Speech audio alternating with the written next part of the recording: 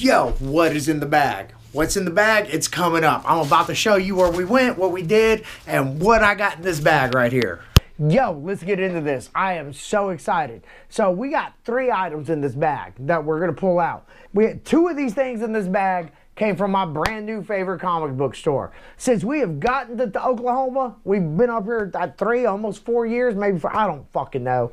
But since we've gotten to Oklahoma, I've had such a hard time finding a comic book store. Yo, I am telling you, this is the place to go. So we got three things in this bag that we're getting into.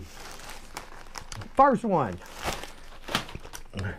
if you haven't heard, there's a brand new comic out by Boom Studios. It has Keanu Reeves in it. It's called Berserker.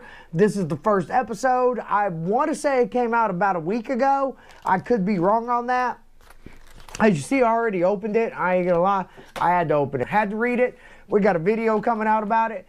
That shit is fucking fire. That comic is so good man, Boom Studios does a lot of stuff with like some Teenage Mutant Ninja Turtles, Power Rangers. They picked up a lot of older stuff. They make a lot of collectible stuff that you can buy, uh, a little more expensive. Kind of the same with this one. The base, the base comic was five dollars, but there's a lot of variant covers, and this is the first issue. Second thing that we got, love them or hate them, man, I love them. Tom McDonald autographed CD. And the last thing, oh my God, it's been a second. It's like I said, I don't like comic book stores here, so I ain't got a lot since I've been up here, right? Yes, it is the Berserker, but if you notice the difference, it is one of the variant covers. See the difference? It don't say nothing up top. There it is, the variant cover. Ah, it's open. I didn't actually open the comic. Uh, I had to get. I had to get the sticker off the bottom because I didn't want to be a douchebag and show y'all how much I paid for it because that's just douchey.